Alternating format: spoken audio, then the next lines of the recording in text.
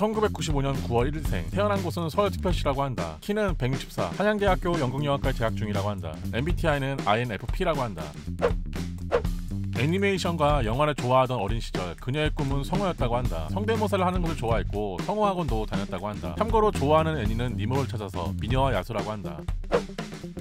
그녀는 고등학교 3학년 때 배우가 되기로 결심했다고 한다. 연극영화과가 아니면 대학교를 가지 않겠어. 라고 어머니께 선포하며 그렇게 대학교를 진학했다고 한다 2016년 웹드라마 두 여자 시즌2로 데뷔했다고 한다. 그리고 드라마 학교 2017, 검법남녀 등에 출연했지만 대중성이 없었다고 한다. 지금까지 출연 작품은 이렇다고 한다.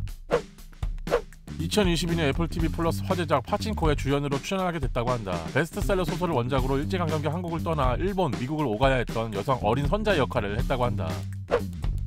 제작비로만 천억 원이 들었다고 한다. 오징어 게임이 200억. 넷플릭스가 올해 한국 컨텐츠에 투자하겠다는 비용이 5,500억. 한 작품에 천억 원을 쏟아부은 애플 TV 플러스는 wow. 참고로 파친코는 한국 드라마가 아닌 미국 드라마라고 한다.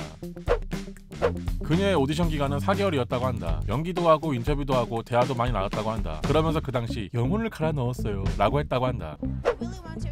한 외신과의 인터뷰 영상이 화제가 되었다고 한다. 얼굴도 몰랐던 배우인데 영어까지 잘하네. 라는 평이 있었다고 한다. 영어를 잘하게 된 이유는 어머니께서는 그녀가 영어 교수가 되길 바랬다고 한다. 그래서 애니메이션이나 외화는 자막 없이 봐야 되는 룰이 있었다고 한다. 그리고 영어학원 3, 4개를 다니고 어학 연수도 짧게 다녀왔다고 한다. 그때는 힘들었지만 지금은 부모님께 매일 절을 한다고 한다. 그렇다고 한다. 태극권과 레고 조립을 잘한다고 한다. 응? 본인이 생각하는 매력 포인트는 주근깨라고 하는데 판단은 여러분의 몫이다. 2분 덕질 끝!